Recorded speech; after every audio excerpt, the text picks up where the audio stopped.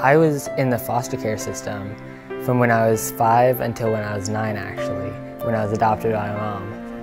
And when I moved from foster home to foster home, they gave me a black trash bag to actually put my stuff in.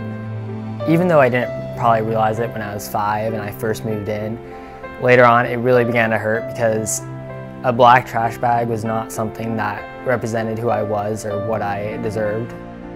So when I started my Eagle Scout project, I wanted to give back to the foster children who were still in the system.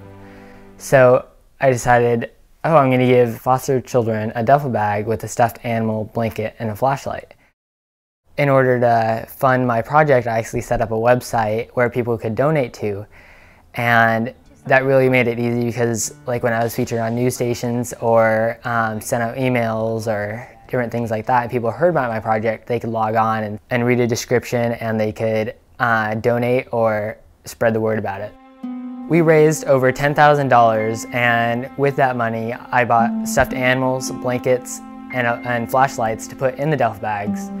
So these were things that I would have really, really liked when I was in foster care. A flashlight to turn on because uh, there's always a nightmare and always a monster in the bedroom. A blanket to keep me warm at night. And a stuffed animal as a companion if I ever get scared. New place, new home. So those are things that I would have really cherished when I was in foster care. My troop really got involved. They were all really, really supportive of me. And when it came time to put my project together, it was really a huge deal that they all came and really helped me get everything together in the duffel bags. And we loaded it all in there and took it to the final destination, so I really couldn't have done it without them. What was really exciting about my project was about three months after the final finish of the project, I was invited to the San Diego County Board of Supervisors meeting to do the Pledge of Allegiance. And about halfway through the meeting, they invited me up and they announced that my Eagle Scout project will be made a permanent part of the foster care system in San Diego County. Scouting really prepared me for my Eagle Scout project because Without all the leadership skills, without all the organizational skills that I learned in scouting, I would never have been able to pull together my Eagle Scout project into what, it, what I wanted it to be and what it became.